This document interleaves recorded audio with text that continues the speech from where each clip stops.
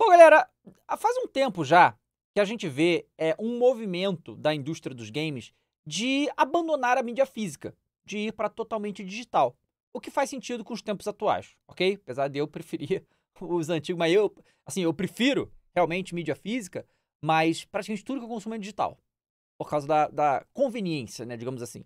A facilidade que as mídias digitais dão pra gente. E a gente viu a Microsoft meio que, né, puxar esse bonde aí, de ir pro digital total. E o Spencer foi questionado sobre isso numa entrevista que ele deu ao GameFile, tá? Com o jornalista Steven Totio. Perguntou sobre se a Microsoft iria continuar com a mídia física.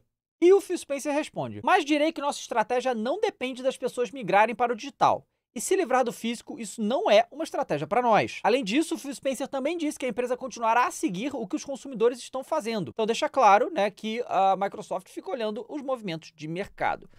É, então assim, não é algo que, pelo que o Phil Spencer falou, que a Microsoft pretende fazer né, bruscamente, não é, pelo que ele está dizendo, né? E ele vai acompanhar o mercado. A verdade, galera, é que infelizmente, infelizmente, para mim e para outras pessoas que gostam de mídia física, não tem como. A mídia física vai acabar. Vai acabar. A mídia física de um monte de outras coisas praticamente acabou. Filme, série, música, não, não tem mais.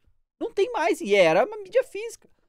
O videogame foi um dos poucos que sobrou que ainda tem mídia física. Então eu não consigo ver, né, o futuro a gente ainda tendo mídia física, infelizmente.